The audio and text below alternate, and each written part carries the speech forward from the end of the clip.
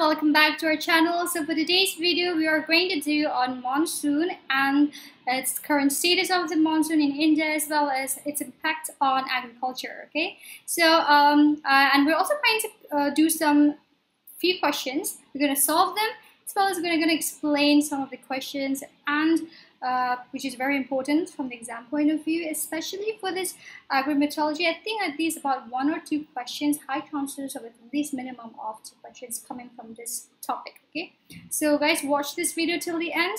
My name is Hansa Nora Sama, and I've done my bachelor's in horticulture, and I've also completed my post graduation in nematology in agriculture. Okay. So before going further, if you guys are new to this channel, Please don't forget to subscribe and you can also press the bell icon for further notifications and do share with your friends and if you guys have enjoyed this session, don't forget to hit the thumbs up button as well. So um, in the first slide, we are going to talk something about this monsoon, how uh, so there has been an increase in sowing uh, because of the good monsoon by 87%. So we're just going to have a rough talk and rough overview about the uh, monsoon in general, right, as well as in the uh, Indian economy and agriculture. So the first line here says about third of the India's manufacturing output, which makes up about 18% of the country's gross domestic product is linked to agriculture and therefore into the food, right? And the second point here is the monsoon, it is a lifeboat uh, basically for India's agriculture and it depended on about $2 trillion of economy and at least half of the farmlands are rain-fed. And when we're going to talk about rain-fed, rain-fed areas are the areas or the farms where there is no facility for irrigation, no irrigation facilities, so they are totally dependent on rainfall for the crop production. Alright, and now this in this agriculture sector, they also account for about 14% of the country's uh, 2.7 trillion economy, which is the when one uh, which we were talking about, and about 42% of the total employment. So agriculture is a huge sector where it gives about majority, almost half of the employment comes to agriculture uh, practices in India. Okay, and 55% of the India's arable land dependent on precipitation. Right. So when you say 55%, it means basically it's a rain-fed uh, farms or the rain-fed lands. Okay. Um, so 55% of it, these are completely dependent on precipitation. So precipitation is just another word for rainfall, right? So I hope this is clear and now let's move on to our new uh, slide where we're going to talk why there is an increase, how is there an increase. So basically, uh, due to the good rainfall in the month of June, the basic important key crop sowing areas that have increased by about 87% and when we compare this percentage to the last year. So there has been increase by 87%. There is huge range, right? So uh, rice cultivation is basically a kharif crop. So rice now in the monsoon season, rice is the major kharif crop. So they are growing this at a huge amount of number at a huge area okay so these are grown nearly 40% of the total area during the kharif crop season and is up to about 39%. Okay, so the oil seeds they have risen more than three times of its normal production and the cultivation. And as if you're going to talk about pulses then it has had an increase of about quadruplet which means four times okay? So um these are some something overview about these monsoons. And uh, especially as rice is a very water intensive um, crop so I think a lot of water is needed. So due to this uh, good rainfall in this year in June, so the rice production is also high chances of rice production as well. Um, states like Bihar, Punjab, and Haryana, they are one of the major growing um, agriculture uh, states in our country where they have grown, uh, where they grow a lot of Kharif season, uh, especially for rice, wheat, maize, all of that, pulses especially. These are the main good monsoon. They also helped the farmers increase the sowing area. Okay, so these are some of the overview and some of the impact that this monsoon has on the Indian economy is that these are um, basically uh, the monsoon they have direct impact on the country's agricultural GDP, right? So the planting of this key kharif season, which is the season for now, or summer crops like rice, sugarcane, pulses, and oilseeds, they begin with the arrival or the onset of the monsoon rains in the June, right? And due to this, when you have a good production, when there's a good rainfall, the quality, the quantity of and the sowing area will also increase, and therefore there will be higher production and in the end they'll have a better income right? So and even uh, the summer crops they also account for almost half of India's food output. And delayed or the poor monsoon it means issues and acceleration in the food inflation as well. So this is also a problem.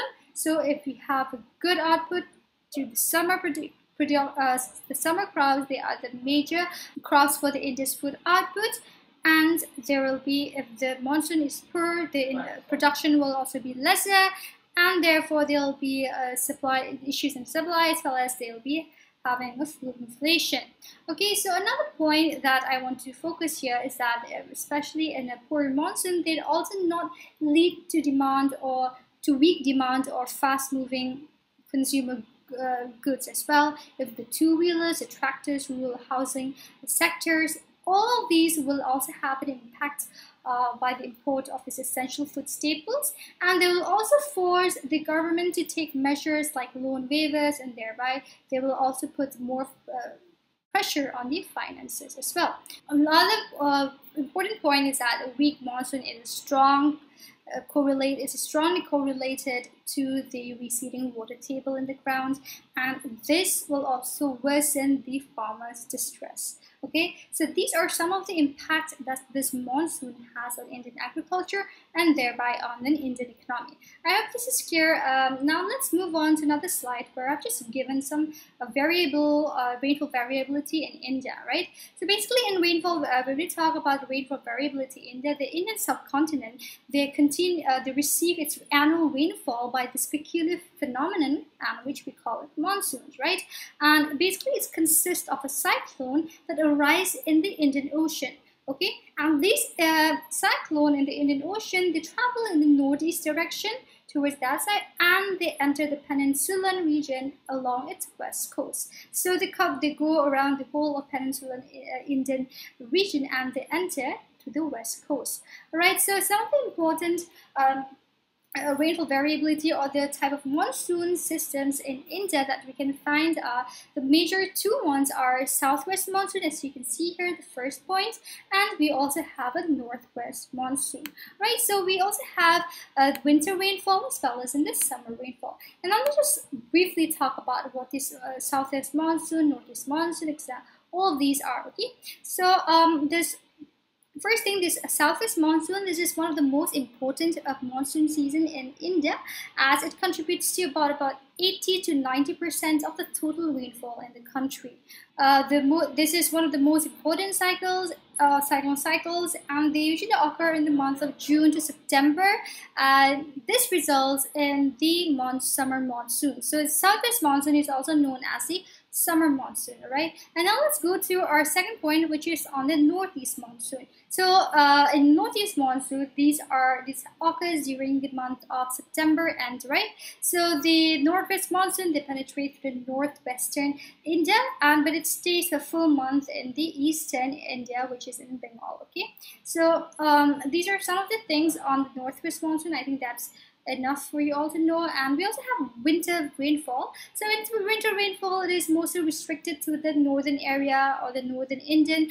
And it is uh, basically uh, suppose if it's in the hilly regions or the Himalayan regions then it will form in the form of a snow. And if it's in plain regions then rains will come okay so these are something on the winter rainfall and now lastly we're going to talk about the summer rainfall. So in summer rainfall, uh, the, uh, the, the rainfall is basically received in the March of March um, to May, okay? So, so these are just received during this summer months as a local storms, right? So these are mostly received in the southeast of the peninsula or in the West Bengal, right? So basically the western Indian side, they are not generally um, affected by this summer rainfall or they do not receive this rainfall. Okay, so these are something important uh, points. It's not really important from the exam point of view, but I think uh, it's very important to at least know the types of monsoons in India that we have. All right. And now let's go to another question. Uh, go with the question series. The first option says the crops region, the crop region, they are classified based on average rainfall, okay? And which of the following range comes under this semi-arid region? So based on the uh, rainfall received annually, these field, uh, they have classified these regions into different uh, regions, all right? Um, the first option given here is less than 500. Number B says 500 to 700. Number C is 750 to 1000.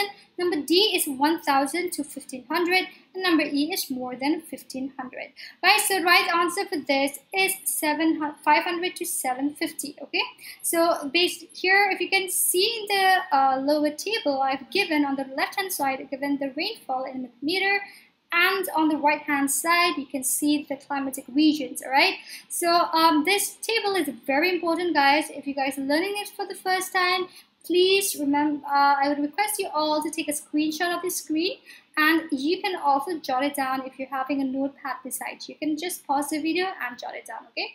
So, okay, first thing, less than 500, it is in the arid region, right? And we have 500 to 700 means in the semi-arid region uh, 750 to 1000 it's in the sub-arid and more than 1000 it's in the humid.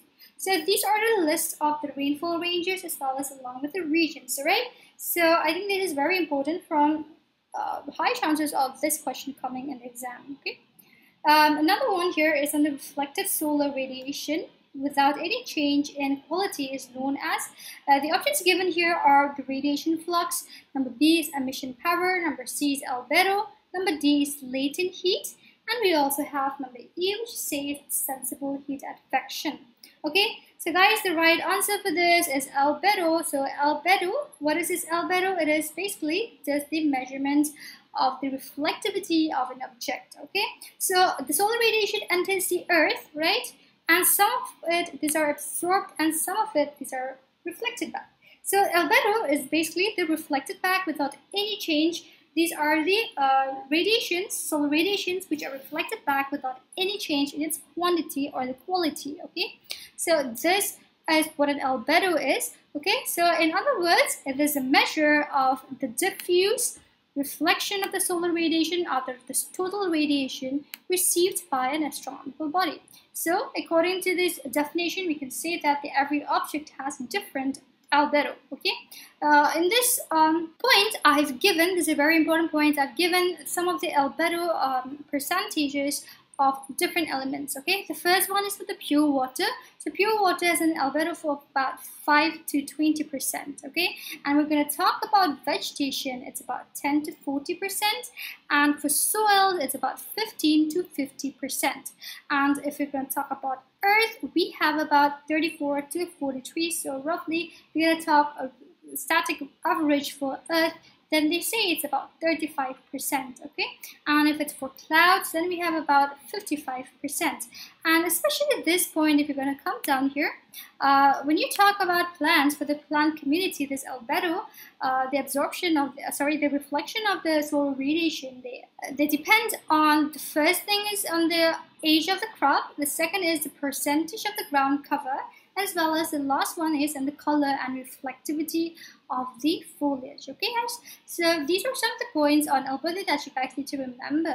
Another point is that here on earth especially the albedo effect they have a very significant impact on the uh, climate as well. So uh, the lower the albedo right the lower the percentage of the albedo the more radiation from the sun that get absorbed by the planet okay and therefore the temperature will rise. But if the albedo is higher, then the Earth is more reflective and more of the radiation is returned to the space and the planet cools. So these are something on, so you can, uh, you're getting the pattern, right? So vegetation, it's about, it's towards the highest, so we have more vegetation, ground cover, then definitely the Earth will be lesser um, less cool um, sorry will be cooler okay so um, uh, in the question, you can see that we've already come across a few of the um, state a few of the definite a few of the terms, right? So now let us understand what these terms are. Okay, so basically the first one is on the radiation flux. So uh, radiation flux, uh, these are the amounts of radiant energy which are emitted as well as which are received and transmitted across a particular area and this is known as the radiant flux okay? And the second one here is on the emissive power. Uh, so uh, when you have the radiant uh, radiation flux the density of this radiant flux is basically emitted by a source right? And this is called as the emissive power okay so this is what an emissive power is and albedo we have already discussed what an albedo is and now we have a latent heat. So a latent heat is a part of an incident radiation on the surface if absorbed and while a part of it is reflected and the remaining is basically transmitted. So these are um, latent heat, what a latent heat is so we also have the last option was given here. The last option given here is on a sensible heat advection, right? So sensible heat advection as well as latent heat, they are the types of this energy which are basically released or absorbed in the atmosphere, okay? But this latent heat, these are most related to the changes in the phase of between the liquids, the gases, and the solids, whereas in the sensible heat, these are mostly related to the temperature which of, of the ga gas or the object with no change in the phase right? So an example, right? So these are some of the terms, the definitions of this. So try to know the at least the definitions. I think just knowing the definition will also suffice. Okay. Uh, all right. So um, next go to another uh, slide, which is on which of the following crop is or are considered as a short day plant? So this is a very easy question again, but very important okay so the options given here are number a is potato we have b which is rice we have C, which is wheat, and D, maize, and E is all of the above. Okay. So guys, the right answer for this is rice. Rice is the short day plant. Right, so now let us talk about the duration of light. Right, so based on the classification of these plants, these are based, classified into few groups, three groups mainly on the basis of photoperiodism. And if you're going to ask what is photoperiodism, a photoperiodism is a response of a plant to the relative uh, length of the day and night, and this is known as photoperiodism. Okay, and this photoperiodism it influences um, the plant character, the flower initiation or development. Also have bulb and rhizome production, etc. So these are some of the fact, uh, some of the points where these photoperiodism they affect the plant. Okay, um, the first one here is in the short day plant. We also have long day, and we have a day neutral plant, right? So the duration of the light they have a, a greater influence than the intensity for the canopy as well as for the final yield. Okay, guys, um, it is very important to consider this in the selection of the crop varieties, especially the crop varieties and uh, the short day plants if you're going to look at that these are the plants which basically develop normally when they develop normally when the photoperiod is uh, less than the critical maximum. Okay, so the critical maximum is less than 12 hours, right? So these are what short day plants are. And now when we look into these long day plants, these long day plants, these are the plants which develop and they produce normally when the photoperiod is greater than the max critical minimum, which is greater than the 12 hours. So these long day plants, they need a uh, Uh, day length of about more than 12 hours. And now the last one here is of the day neutral plant.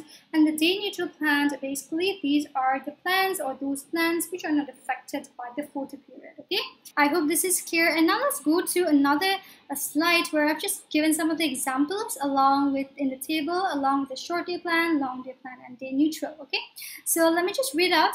For the short day plants, we have chrysanthemum, cocklebur, cosmos, dahlia, uh, goosefoot. We have hemp, morning glory, poinsettia. These are all flowers, okay, guys? And we have rice, soybean, we have tobacco, we have violets. So, so these are also another flowers. And now let us look into long day plants. For long day, we have barley, cabbage, carrots, henbane, we have larkspur. These are also um, flowering plants. We have lettuce, onion, petunia, poppy, these are flowers, radish, spinach, and beet. And if you're going to look into neutral plants, we have balsam. These are also flowers, okay? And we have uh, beans, chilies, capsicum, uh, tomato, sorry, tomato, cotton, cucumber, uh, maize, potato. All of these, these are under the day neutral plans. Okay. Um, all right. So now let's go to our fourth question. Who is the father of agri-meteorology in India? Okay. So guys, um, the right answer for this is okay so before that uh, before giving the right answer let me just read out the options uh, the options given here are number a is ms swaminathan we have b which is la ramdas c is bp pal and d is jw leather and number e is none of the above so guys the right answer for this is la ramdas so he is the man who is the uh, father of the agri-meteorology in India, right? So in that we try to study for the fathers of um, different other allied subjects under agriculture. We also have for soil science, agronomy, agriculture engineering. Try to list out all the fathers of the respective discipline and jot it down. Make it, I think it'll be more, much more easier for you guys if you can make a table out of this and you can study in that way, okay? So um, a last question here, I would like you all to answer for this again. So which of the following range of the wavelength they help in photosynthetic and uh, photoperiodic activity? So we do have certain a range of wavelengths which help in certain uh, growth and production and for certain effects that it has or particular function that it has on the plant okay so this question is based on that right so uh, think carefully and drop it in the comment section all right guys so the options i'm going to read out the number a is 720 to 510 number b is 1000 number c is more than 1000 number d is 500 to 400 number e is 400 to 300 out of these, which one belongs to the range which helps in the photosynthetic as well as in the photoperiodic activity? If you guys know the answer, then do drop it in the comment section so that I'll be able to know. Right, guys? And before going, uh, let's just solve few of the questions quickly, right? So I've just given the questions here, and I think it's quite small. I don't know whether you guys are able to see or not. If it's visible, then, but let me just increase the size of this, right, guys? Okay, I hope this is more visible now. Okay, so um, number question number one was that Indian Institute of Tropical Meteorology, IITM, it is located in Pune, right? So it was established in the year of 1962, right? And question number two is wind speed is measured by anemometer. Rainfall is measured by rain gauge, okay guys? And we have a chemical which is used for artificial um, rainfall. I think this is an important question, so you can jot it down. I'm gonna put a star mark under this. And we also have um, the word monsoon. It is derived from Arabic language. And the last one says that the radiation having thermal effect on the plant is uh, the answer would be your infrared radiation. So these are some of the questions that I've just quickly jotted down for that, which I thought might be very important from the exam point of view. Okay, guys. Um, so that's all for today. I hope that you guys had a productive session with me. I hope it was clear for you all. If you guys have more doubts or if you guys want me to take up some topic in which you guys are having trouble with, or if you guys want me to explain those topics better, then do drop it in the comment section. And you can also reach out to us. We're always there to help out, guys. And um, if you guys have any more doubts and queries, do drop it in the comment section, okay? Exams are also there. The, they have just given out for the NABARD exam. They've just given out the tentative dates, but I'm not sure whether it's going to be in September or, but uh, till then, till the actual dates come out, I would like you all to uh, request you all to continue revising for the exam as well as you can also uh, have more time to prepare well so that you guys will have high chances of doing better in the exam right? So guys if you are new to this channel please don't forget to subscribe and you can also press the bell icon if you like the video. Do like uh, do like the video and hit the thumbs up button and you can also share with your friends right? So let's meet for the next session with another topic